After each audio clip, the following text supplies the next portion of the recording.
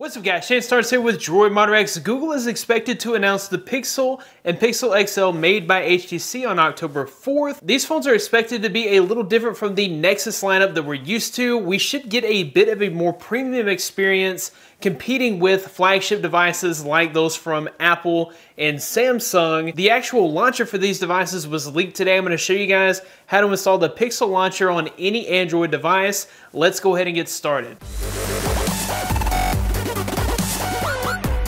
The first thing you'll notice about the Pixel launcher that's different from the standard stock launcher on Google devices is there's no longer a static Google search bar. Instead, you have just this little Google logo. If you click it once, that's going to open up the Google search.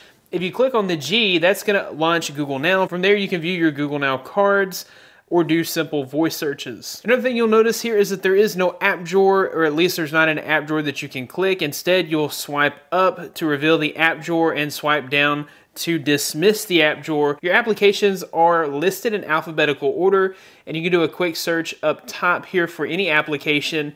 And then they also include some of your most recently used applications. The folders are a little bit different here too. You'll notice that they're just a circle with a view of what is contained inside the folder. If you click the folder, it reveals all of the applications within. Of course, up top here, you also have a calendar. Installing the Pixel Launcher on any Android device is super easy and you don't have to be rooted to do it. All you have to do is head to the link in the description and you'll pick up two applications. So I'll go into my file manager and you're looking for the Nexus Launcher pre-built application and also the Wallpaper Picker Google pre-built application.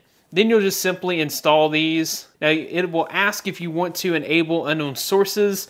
If it doesn't pop up asking for unknown sources, you would simply go to your settings, security, and then you would go down and check unknown sources. Once unknown sources is checked, you go into your file manager of choice, go ahead and install the Pixel Launcher, and then install the Wallpaper Picker. Once both applications are installed, You'll click the home button. It will ask you if you want to choose your current launcher or the new Pixel launcher. Go ahead and choose the Pixel launcher and then choose always. Okay, and then with that wallpaper picker,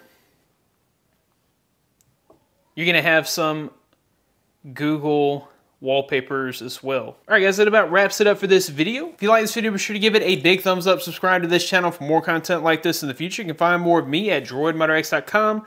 Follow me on Twitter at DroidModderX. Thanks, guys, for watching. Be blessed. I'll see you in the next one.